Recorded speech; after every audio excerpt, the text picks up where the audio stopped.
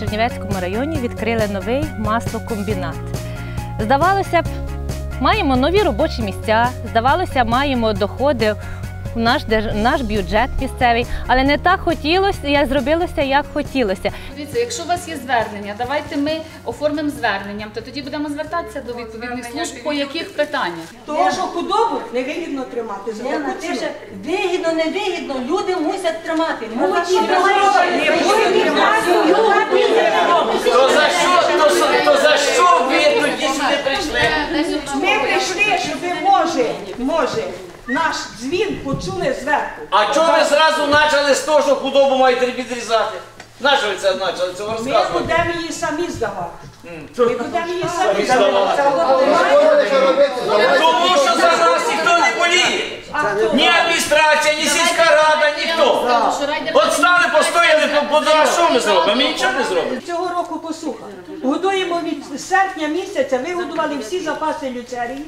Зараз піде худоба вся на заріз.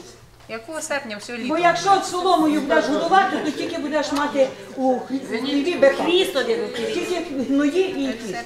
І цієї корови вже є, діти годує, сім'ї молоді. Відновити корову треба і це- сім років. Хто годен купити то м'ясо 80 рублів кілограм, Тому що прогодувати сім'ю? Того тримають. а на третій рік теличку. А нема два роки тримати. Нам дають по щоб 2,60, а свою продукцію вони Пасові збільшують ціну. під е, землю, під городи депутатам. І зараз, і зараз в Могилів-Подільському районі заплатили по 2,80, а нам 20 копійок хай буде. Ну це ж все одно- сказала це- сельзаводу, що попробуйте заплатити. Я дала 2,60 і ви, і ви дайте 2,60. Оце ж це наш цей завод тут керує. Ну, вибачайте, що у нас така ж вийшла зустріч, ніхто не попереджував, сьогодні голова адміністрації поїхав до Вінниці, це по-перше. По-друге, і ми Він не втік, знали, поїхав. бачимо, що. Ну, Ви вже вибачте, з нами здаватися. ну ж ніхто не знав, що ви сьогодні прийдете. Треба було попередити. І може Вона ніхто не на заводі по- позапрошували. Дали сьогодні гроші Чітко, за давайте, були. давайте так. Ви будете говорити, я буду вас слухати. вже Буду я говорити, будете ви мене слухати. Да, Добре? да. Давайте. Е, що я вам хочу сказати? На районному рівні не районна державна адміністрація, не районна рада, звісно, не мають таких повноважень, які б впливали на формування ціни. Але те, що проблема у людей є і не нова проблема, то це однозначно. Років 4-5, а може й більше назад, ще коли працював Тумчук, тут хтось брав гроші, тут повен зал людей був, тут тягали дерменжі від е, заводу, здається, Вінницькому молокозаводу, бо десь поприховували гроші, 60 тисяч тоді десь пропало, було таке.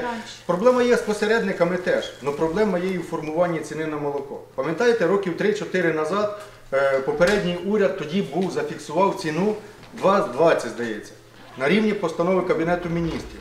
Ну тоді був рубль 50, гривня 50 давали за літру, гривня 80, уряд тоді зафіксував 2,20. Якось воно вирішило на певний час проблему.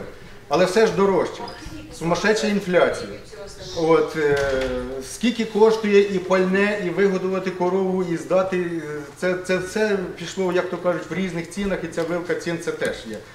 От, е, в цьому році Люди також зверталися і не можна сказати, що ми сиділи, склавши руки. Що ми могли зробити? Якщо ми не можемо сформувати ціну і не допомогти вам якоїсь дати більшої е, ціни за літру молока. Ми зверталися до нашого представника, до нашого народного депутата Спориша Івана Дмитровича. Той направив той лист десь по комітетах, таке інше. От е, прийшов нам, правда, звідти відповідь. Сказали, що середня е, ціна по області молоко 2,99, майже 3 гривні. Хоча ви і того не получаєте. Я ж знаю, 2,60, 2,50, 2,70, як де. Але середня ціна по молоко. Звідки вона взялася, я нікого не виправдовую, не їх. Е, От, навпаки, у ваш захист хочеться стати. Е, Великі маслозаводи, молокозаводи, які працюють напряму з фермерськими господарствами і з кооперативами, беруть молоко, де воно е, виготовляється прямо від корови, без доступу до повітря, бактерій та інше. Вони беруть по 5,50, по 6 гривень. Наприклад, в Вінниці відкривається новий молокозавод від Рошена. от і там беруть отаку ціну. Я їх запитав, коли я був там на тому заводі, скільки від людей ви берете молока? Вони кажуть, ми беремо 13% від е, населення, а все остальне від фермерських господарств і від кооперативів. А чого запитую? Тому що молоко від населення нас не влаштовує не тої якості. Але ми тут, у нас є свій молокозавод, у нас беруть на могилів, на вапнярку по тут. А на Вінницю ну, мало йде молока, і ціна така би у нас не влаштовувала. Я ж, ну, І та неякісна продукція вийшла на євро ринок по якості. Отак. Що зібратися сьогодні. Люди повинні зібратися. Ні, ні, Так що почекай. керівники, робіть для людей добро яке. Та ж Голови сільради, робіть це. Ви не знаю, а ви робіть. Дядько, це треба зібратися. Ну що, от ви розумієте, ви розумієте, що вам треба принести отако і розказати. От така ситуація сьогодні з цим е, ринком молока. Запрошували ми спеціально сюди. Нема тут, бо ви не сказали, що прийдете. Ми запрошували для людей всі молокозаводи, маслозаводи, які тут беруть молоко, щоб подивитися людям в очі і сказати, по скільки ви берете, по скільки ви здаєте, і по скільки на субсидії відписується кожному з вас, коли ви пишете по 5 гривень, да? 5,90. по 6 гривень відписується літра молока. І де цей зазор дівається? 2, 2,50, 3 гривні. Де цей зазор дівається? Знову ж таки, турбуємо нашого депутата народного, розказуємо цю всю ситуацію. Був ще тут е, хтось із молокозаводу, теж пояснюємо ситуацію. Десь дівається ця гривня, гривня 50, 2,50 на посереднику. Кого є знайомі з вас, хто заготовляє молоко, вони знають, скільки кожен день в день людина заготувач молока заробляє. Оце наші гроші. Це наше сьогодні питання, аби вибити із ринку посередника, який бере у вас молоко, перепродує його. Я правду кажу, перепродує його на завод і отримує по 5 гривень за літру молока. І відомості ми просимо Як він вас. їде на, на дві машині їде, він їде за дві-три хаті, він їде жене другу машину, то значить йому це вигідно. Значить йому вигідно.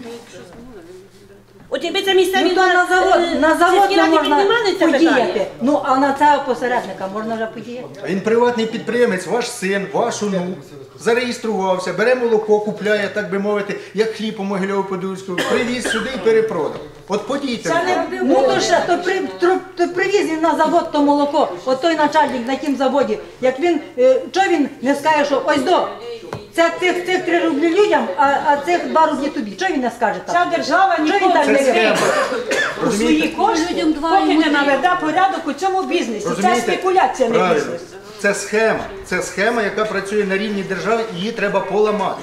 Її треба поламати, щоб це молоко не було по 2,60, Ну, а скільки хто її його собі має варто. Чого немає відомостей? Чого він нам не каже, по чому він бере, по чому він на завод здає? Повинно бути, він платити повинен податок. Якщо він взяв з нас по 2 гривні, він повинен заплатити державі за то. Організувати дві сільської ради, щоб сільська рада керувала цим. Брала собі якісь там копійочки, і машина була при сільській раді, і сільська голова, голова сільської ради знає, скільки худоби є на селі.